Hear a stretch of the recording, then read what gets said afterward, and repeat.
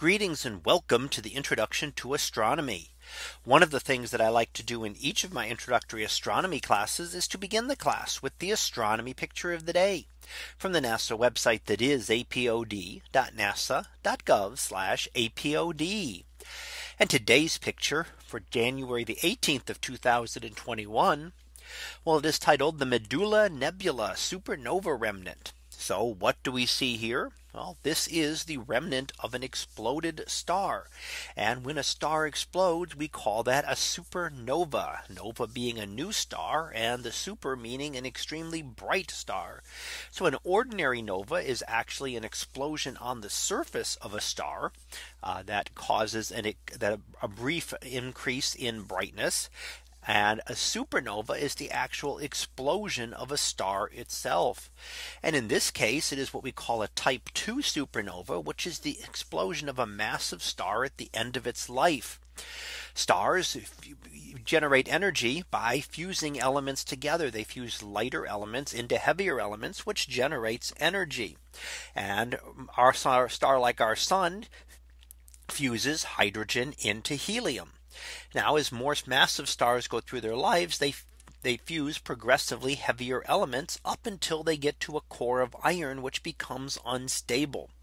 You can't get any energy out of fusing hydrogen atoms together. It actually takes energy and that causes an implosion of the core which resulting explodes out the remainder of the star and expels it out into space. And that's what we're seeing here. These are the layers of the star being expelled out into space from a supernova that was seen to occur on Earth about 10,000 years ago and has continually expanded out since that time. Now supernovae are the way heavy elements get expelled back out into space for the most part. And in fact, a lot of the elements in your body were probably once part of a supernova explosion. And I should specify when an astronomer says heavy elements, they really mean anything other than hydrogen and helium.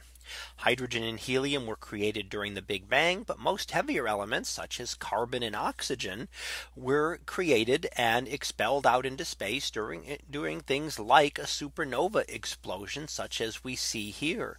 So this material would slowly expand out into space and would then eventually become part of the seed material for future generations of stars.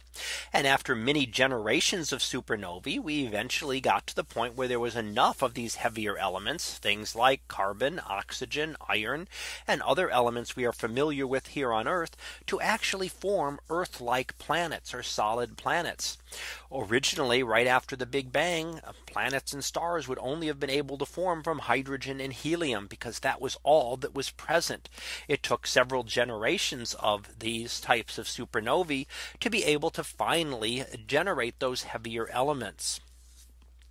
So many of the atoms that make up your body and everything else that we have here on Earth today were eventually uh, more likely part of a supernova explosion at some point in the distant past.